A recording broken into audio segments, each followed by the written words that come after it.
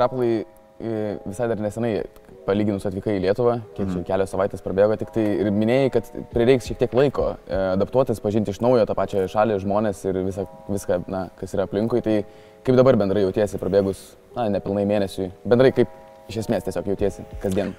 A, tikrai gerai jaučiu. Um, tikrai buvo sunku taip ateiti, atskristi ir, ir uh, labai seniai buvau Lietuvoje ir reikėjo laiko taip pažinti su, su Vilniu ir su savo, su savo apartmentą ir su, su kur aš gyvenu, bet ir su komanda, pažiūrėjai, bet um, šiaip dabar viskas žymiai geriau ir taip jaučiu, kad uh, aš jau taip grįžau namo. Tikrai. Jeigu kalbant apie namus, Lietuvoje berots esi tik trečią kartą iš vis. Taip. Trečią kartą. Tai kokį ryšį palaikydavai su Lietuva, su lietuviais žmonėmis čia likusiais? Mm. Koks tavo ryšys bendrai su Lietuva per visą tavo gyvenimą? Aš turėjau daug, uh, mano, mano, mano šeima čia gyvena, mano, mano tėvai gyveno Čikagos su manim, uh, bet uh, mano seneliai gyveno, uh, jie dabar gyvena uh, Lytui ir Šilutėj ir mano, mano uh, pusserė irgi gyvena Vilniuje, tai aš, aš uh, daug laiko prisileidžiu su ją ir, uh, ir jo vis tiek visada laikiau ryšio. O čia buvo netikėtas sprendimas grįžti? Taip greitai tikrai nebuvo tikėtas, nes aš, aš, aš pabaigiau tą sezoną su Cincinnati universitetą ir uh, šiaip taip galvoju, kad aš sportuosiu namuose su savo treneriais iki vasaro, nes būtų sunku, žinai, suras komandą per, per sezoną ir uh, šiaip mano agentas, žinai, kalbėjo su rytu jie paskambino, sakė, reikėjo žaidėjai mano poziciją ir, ir taip atrodo, kad labai gera, gera kaip sakoma, um, opportunity. Raplai, kaip ir sakėjai, reikėjo žaidėjo tokioje pozicijoje, kokioje tu rungtyniauji ir dar vieną interviu metu minėjai, kad e, Lietuvoje šiek tiek tinka labiau tavo žaidimo stilius, lėtesnis, kaip ir minėjai, šiek tiek lėčiau Taip. demonstruojamas žaidimas. Tai galbūt, jeigu kalbėt apie tavo asmeninį žaidimą, kokį elementą pats jauti, kad galėtum dar geriau patobulinti arba labiausiai norėtum patobulinti artimiausiu metu? Ja, kai mes kalbėjomės, aš tai galvoju, kad, kad čia Europai žaidėjai ir komanda žaidžia žymiai protingiau. Ir su tą man reikia uh, geriau žaisti gynybą, tikrai.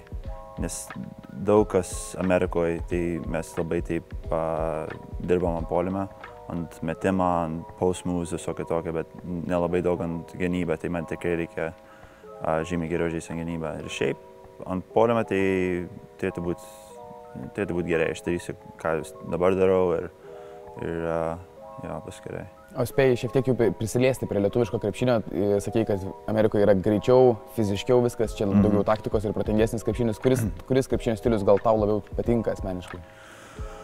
Aš tai galvoju, kad už gal už porą mėnesių arba porą metų tai bus šitas krepšinis, lietuviškas krepšinis arba europietiškas krepšinis. Ne, aš tai galvoju, kad aš, aš Amerikoje aš, aš gerai dariau Amerikoje, bet, bet vis tiek buvo labai toksai greitas žaidimas ir a, buvo žymiai at, a, taip daugiau at, atletiškumo. Ir, a, bet čia man reikia por, dar porą mėnesių gal, gal šitą sezoną, kad suprasti tą IQ e, žaidimas. Tai.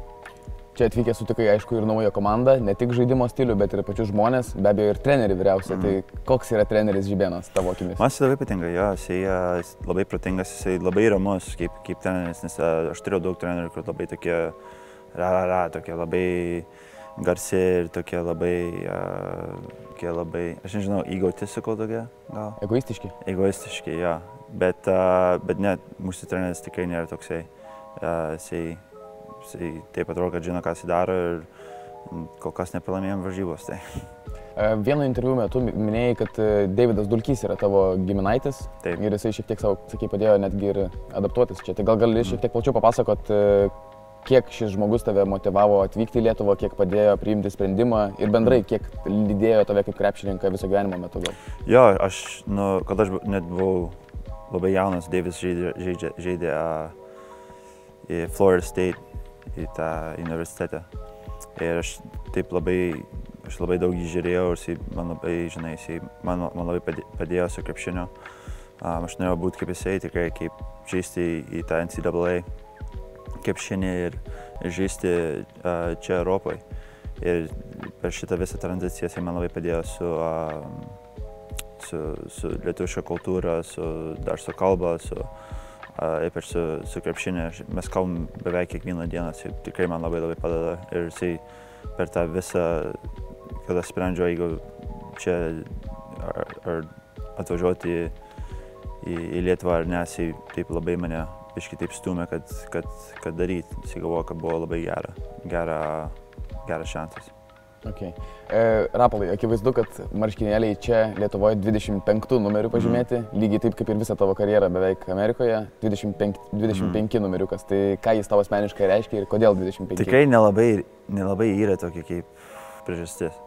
Tai, uh, tai tokia jokinga istorija, kad aš tokia bandžiau kitokio, kitokius numerius, aš turėjau 10, 11, 14 ir tada, kad aš uh, tą mano antrą universitetę atvykau į Colgate ir uh, buvo dvi numeriai, arba 25, Cam, Cam 5. Aš tik buvau, nenoriu Cam 5, aš nesu centras.